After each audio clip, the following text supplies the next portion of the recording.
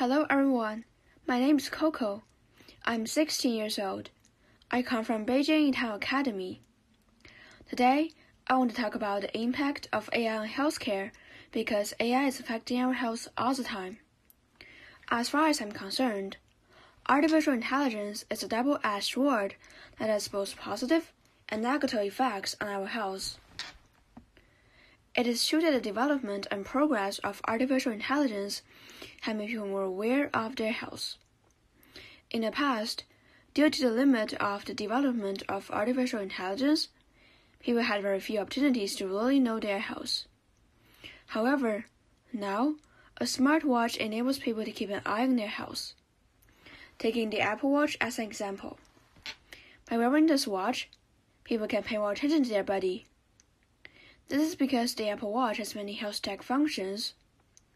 With the help of an artificial intelligence algorithm, the Apple Watch can detect if a heart rate is normal and allow people to see a doctor in time. Moreover, it can detect our sanitary situation so that we can timely move the body and reduce the health hazards caused by sitting too long. In addition, the watch can detect our sleep quality and let us know our sleep duration and efficiency at night through the sleep monitoring data so that we can adjust our sleep state in time. As a result, thanks to the development of artificial intelligence, people's physical health has been guaranteed effectively.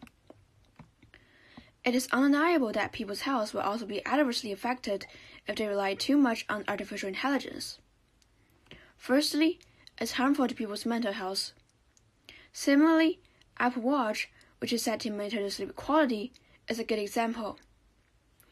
If people pay too much attention to their poor sleep quality, they may become more anxious and annoyed, so the burden on their heart is greatly increased. These problems can be avoided by going with the flow rather than taking the sleep data every day.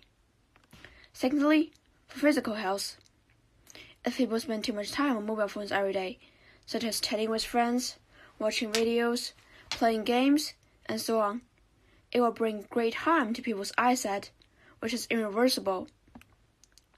To sum up, the rapid development of artificial intelligence can bring a lot of benefits to people's health to some extent, but relying too much on it can backfire.